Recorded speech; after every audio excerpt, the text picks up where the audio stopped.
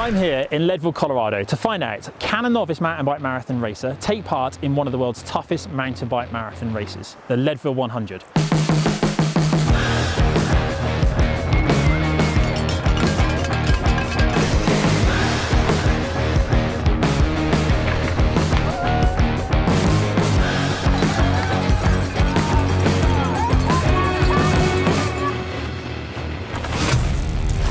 To make the race even more interesting, I'm going up against the experience of two time Leadville veteran Walter Summers, who knows all the ups, downs, twists, and turns of the course. Walter is also a Garmin test rider. So, how am I supposed to measure up against Walter's experience? Well, I've teamed up with Garmin and they have kitted me out with their new Edge 830 unit, which is going to help coach me through the Epic. I can use the ClimbPro feature to educate me on the gradients and climbs ahead. I can even set food and hydration notifications to ensure that I stay on top of my fueling too. All I have to do is follow the course and pedal, and let the Garmin worry about the finer details. That's the plan, anyway. But why me? Well, for years I grew up riding and racing on the road, hearing about all of these great mountain bike events that I wanted to take part in, but because I had a busy training and racing schedule to stick to, it meant I could only read about them in magazines and on the internet. Well, one of the big events that sticks out in my mind is the Leadville 100, a 105 mile mountain bike marathon event across Colorado. Now in its 26th year, I finally get my chance to have my first go at a mountain bike marathon event. And I'm not gonna lie, when Blake and Neil asked if I was interested, I could not have said yes fast enough. I mean, everybody's heard about the Leadville Trail 100. It's, you know, the world's most iconic mountain bike race. Leadville is grit, guts, and determination. You can't help but lift your head up and look around because it's it really is stunning terrain that you get to ride your bike through. There's very little that's not either up or down. I entered Leadville in the first place because I was curious. I wanted to know what all the hype was about, why all these people were coming to this race in, you know, this teeny weeny mountain town um, in the middle of Colorado. Uh, registration limit's about 1,800. A couple of hundred or so will get cold feet and chicken out before the starting line. Tank's empty, you gotta dig deep. You, you got to do exactly what the Leadville miners did 150 years ago dig deep.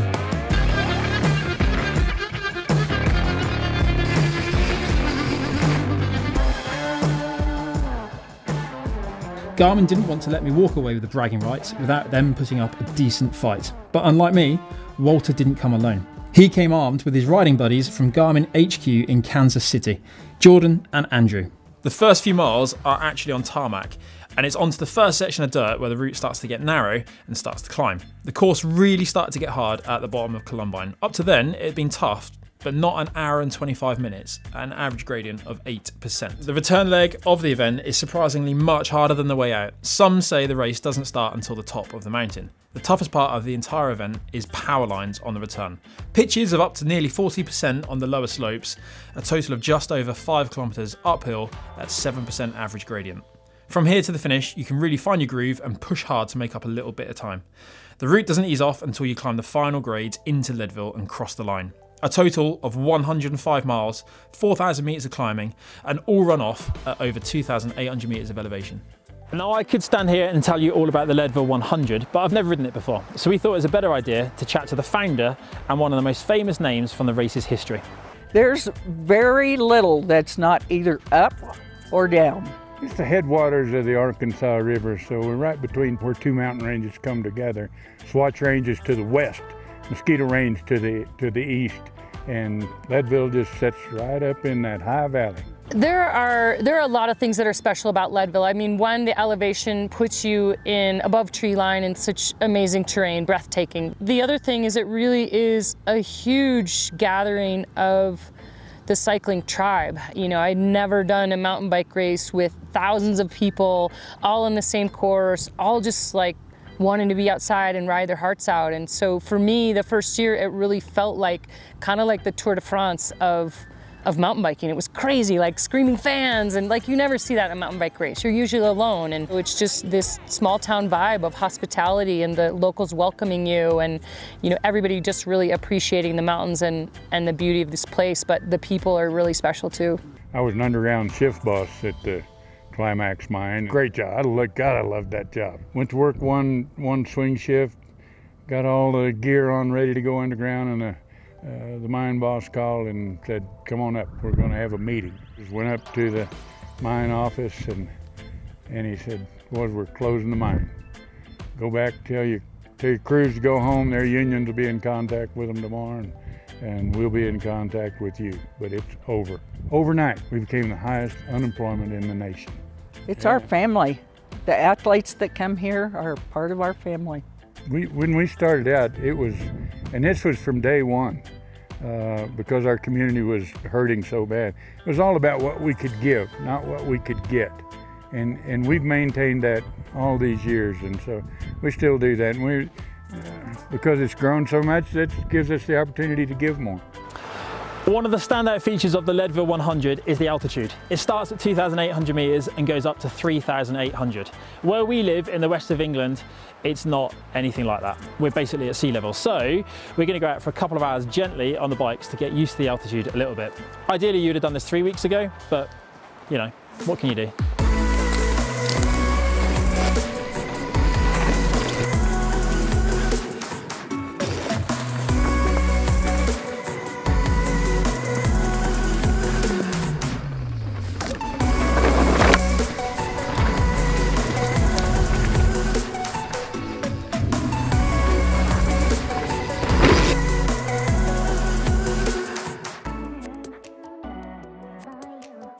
Had a real blast up on the mountainside of Breckenridge, a few final tweaks to the bike and a couple of tough efforts to get ready for the race tomorrow.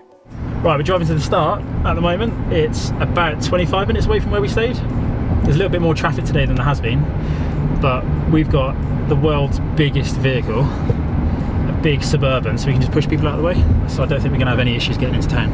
Right, this is Leadville, start, start line in Leadville.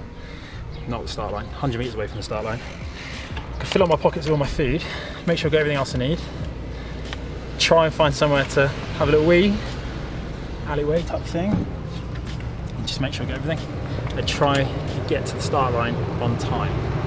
Important. This will be the most people I've ever lined up in one go with. Like normally in a bike race, you get 200 guys, and there's what, 2,000 people here today? So 10 times as big.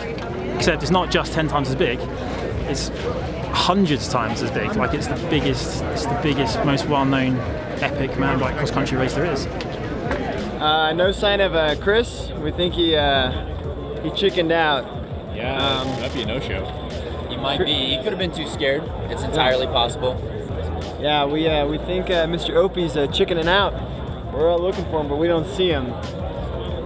Right, this is it. Again, we are actually going to go. Right, record some carnage. Have fun. See ya.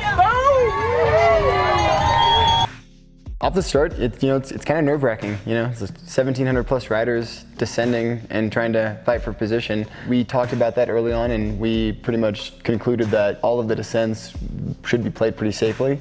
Um, and that goes for the beginning too. You know, there's no worse place to crash than the beginning of a, of a bike race, especially when you're bobbing downhill with, you know, 500 riders behind you. That so. went quite well. Overtaking 700 people, 800 people. And we'll have to count it on the GoPro footage. Quite pleased with that.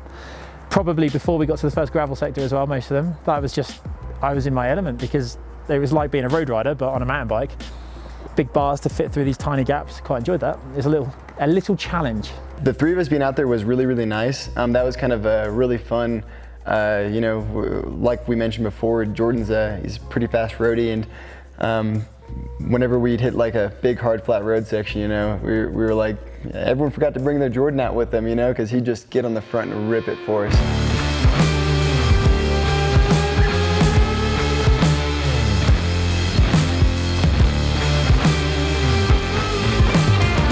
So for the first two hours, I chased pretty hard to find um, Walter, Andrew and Jordan. And I just got to the point where I was like, I feel like I should have caught them now. And again, this is my ego from bygone years, but I just felt like I'd ridden really quite hard for those two hours and I needed to ease off a little bit. Like I'd, I'd kind of started to notice that I was finding it harder than I was expecting. So from there on in, it got really hard. The power lines descent was probably, apart from the guy that switched me and tried to come across in front of me and then got upset with me, it was the best descent of the day, just purely because it was 80, what, 82.8 kilometers an hour I did down there. Bearing in mind, you're on like marbly gravel. It's, it's average 12%, but the pitches are like 27% or more.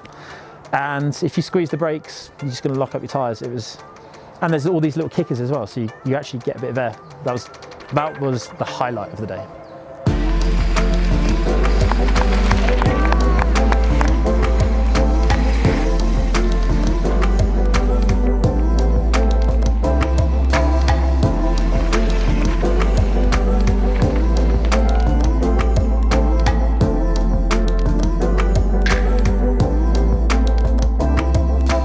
So actually something that really got me through the day was the little feature that we that I used on the Garmin and that was telling me how far I was to the next climb, how long the next climb was, what the gradient was.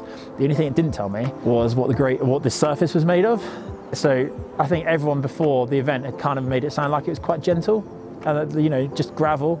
It was not gravel. It was like rocky and rooty and it was it was rugged. It didn't get it didn't get terribly dark. Um, I think again riding with my buddies was a big part of that. Um, honestly, the probably the darkest part of it is like when I was sitting behind their wheels and I'm like, I'm like pinning it right now to just sit behind Andrew, sit behind Jordan. So I was like, these guys are so strong. So that was probably the, honestly the hardest part. And then, you know, I'd get my second win and I was like, all right, you know, it's time for me to do some work. But um, no, it never went, never went super, super dark. Honestly, it was just like, you know, we'd be riding uphill and then you'd turn and it was just like a wall and you're just like, oh. So it was very temporary darkness, you know, and then you'd get up and over and you'd, you know, get back on your bike and keep going. So it was kind of like, I'd say it was a little, uh, it was a little gray out, you know, for most of the day. The worst part of my day, it was Columbine Mountain. That was where I really started to struggle with the altitude. Somewhere between 3,000 and 3,200, I realized that that was my limit and everything higher than that, I was, I was in a dark place. Didn't think I'd get off and walk, to be honest. Feels good though. Right now, anything but pedaling feels good. I'm getting passed by a lot of guys again. I don't think it's an exaggeration to say I'm suffering more than ever. It's just, I've underestimated it massively. So I'm nowhere near my goal of seven hours. It turns out that was probably quite stupid anyway. I am near eight hours. I was in a really dark place until some friendly friendly competitor came over and said, look, it's only the altitude that's making you suffer. As soon as you go back down, you'll feel better. Like your thoughts run wild, you feel dizzy, like you can barely see anything. Glasses on, glasses off, doesn't matter. There's no oxygen in your brain. A lot of guys were cheering everyone on. Quite a few people do recognise the jersey, which, you know, considering you guys don't wear Lycra on the channel very often, it was quite cool to hear that. And um, I had the worst arm pump of my life. So I was behind someone that wasn't that fast on Columbine on the descent, which means you're riding the brakes the entire time. Obviously 34 PSI in the tyres and the shocks are pumped up pretty hard. My hands were claws and eventually I said, can I just go by? And as soon as you let off the brakes, it all disappears then because you're not trying to squeeze and slow yourself down.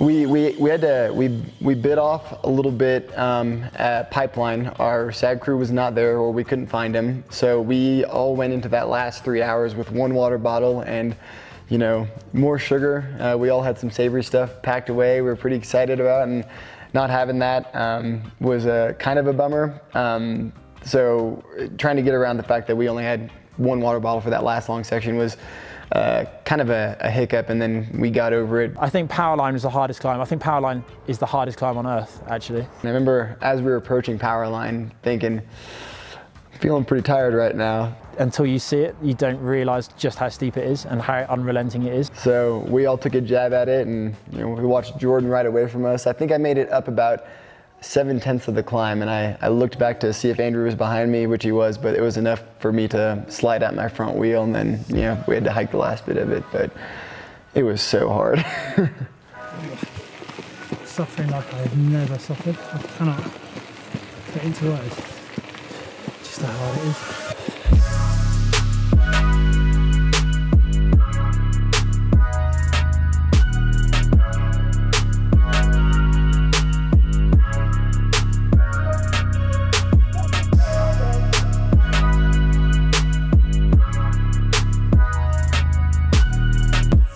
Was ecstatic that I made the nine hour cutoff. Uh, it was so exhilarating to come in and know I made it by just that much. And the whole crowd is there, everyone's cheering for you. They said my name over the loudspeaker, Jordan Miller from Garmin. Uh, it was surreal. Those final 10Ks were just all out. That was me in my zone. That was like riding a road race, you're in a break, or riding a time trial. I got aero, I went fast, and I crushed it. And I came in with just like that much to spare too. It was a special moment. I did have a little sprint at the end because when you ride to the finish with another rider, you can just, you, for a start, you hear gear changes, but then also you just, the tempo rises. Everyone wants to finish looking strong, right? Because that's where the people are watching. And you could just tell what was going to happen. Like it's one of those things, you get dropped in a bike race and everyone kind of just pedals a little bit harder to get over the finish to make it look to their team managers that they've not just sat up and cruised in. Stupid, really. Like it, it means nothing. But this did mean something because it was a proper sprint. That was quite good fun. Hardest bike race, hardest bike ride, hardest thing I've ever done on a bike. Coming back next year, support team. I'd like to recover first before I make a bold statement. I think it'd be really cool to come back and, uh, you know, see if you could put everything you've learned this week into practice. That would be cool. And the result, and who was actually fastest, the Leadville novice or the veteran? Walter finished the race in 9 hours, 7 minutes, and 1 second. And I, I'm pleased to say, did it in 8 hours, 14 minutes, and 12 seconds. About 53 minutes faster. But the most important thing is that I was sub 9 hours, which means I got one of these big, shiny finisher belts. So it's the morning after Leadville, after a night's sleep, and we're all feeling pretty battered to be honest. But we've made it back to the start time because the day after the event they give out the belt buckles to all the finishers. If you finish under nine hours, you get a big one. And you can see Walter, Jordan, and Andrew, they've all got theirs. It's now my turn to go inside and find mine.